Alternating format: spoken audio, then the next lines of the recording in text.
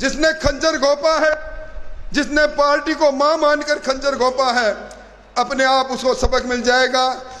हम सब लोग मन में हमारे एक ही बात रहनी चाहिए कि किस प्रकार ये करवट लेता हुआ हिंदुस्तान, ये बढ़ता हुआ हिंदुस्तान, ये हिंदुस्तान जिसकी तकदीर और तस्वीर को प्रधानमंत्री जी ने बदल दी, ये हिंदुस्तान और आगे कैसे बढ़े? और डबल इंजन की सरकार में तारानगर और आगे कैसे बढ़े? ये संकल्प हमारा सबका होना चाहिए। और इस संकल्प के लिए मैं आपको आज यही कहने के लिए आया हूँ, मैं आपसे दूर नहीं। हार के कई कारण हो सकते हैं, कई मायने हो सकते हैं, कई पैमाने हो सकते हैं, पर हार हार को हार मानकर रुकने वाला इंसान राजेंद्र राठौड़ नहीं। इस हार में भी कोई ना कोई अच्छाई छपी है। कोई ना कोई हार भी मुझे सबक देकर जा रही है। उस सबक को सीखूँगा और आपकी सेवा के संकल्प को आगे बढ़ाऊँगा।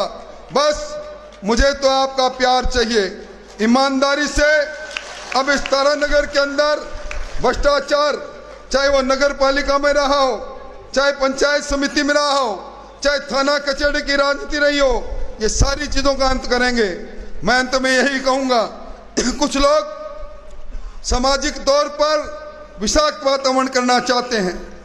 इन विषाक्त वातावरण करने वालों को भी मैं कहूँगा, चुनाव हो गया। आपने कहा चुनाव जीतना चाहिए, मारना पड़े तो मार देना। मैं कहता हूँ चुनाव हो गया। मैं जनता जनार्दन के, इस जनादेश को सिर माथे स्वीकार कर रहा हूँ। और हरा हुआ ये व्यक्ति, जो जीवन के अंदर हार कभी देखी नहीं, पीछे मुड़कर देखा नहीं, पर हारा हुआ ये व्यक्ति कह रहा है, हार कर भी ना जीवन लेने की बात है, मोहब्बत बांटने की बात करेंगे, इंसानियत बांटने की बात करेंगे हेल मेल की बात करेंगे, सबका साथ लेकर चलने की बात करेंगे, सबके विकास की बात करेंगे, और कतिपय लोगों को यह भ्रम हो जाए, हम चौड़े और बाज़ार संकड़े।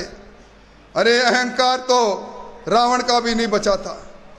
उसको भी मंदोदरी ने कहा था कि रावण जी, आप निश्चित तौर पर शिव भगत हो। अपार शक्ति आप में है। दशानन आप हो। पर कुरुति के रास्ते पर, कुमुति के रास्ते पर, अन्याय के रास्ते पर मत जाओ, अहंकार के रास्ते पर मत चलो।